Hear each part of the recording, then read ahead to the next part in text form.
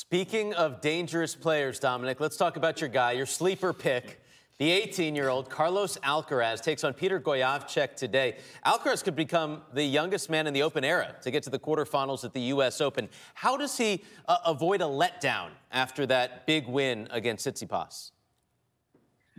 We have to see. I mean, it's it's difficult. Um, things shifted a little bit uh, since that match, obviously, because uh, against Tsitsipas he was the underdog, nothing to lose, and uh, he was playing amazing. If he plays like that today against uh, he's probably gonna win, but. Uh, he's now the favorite, and um, I don't know if, if he looks ahead in the draw, but he's gonna face uh, Frances or Felix. They are not impossible for him either to beat, and uh, as I said, things shifted. He's the favorite now, and uh, also we have to see how he digested the match physically. It was super super tough, and not only physically but also mentally.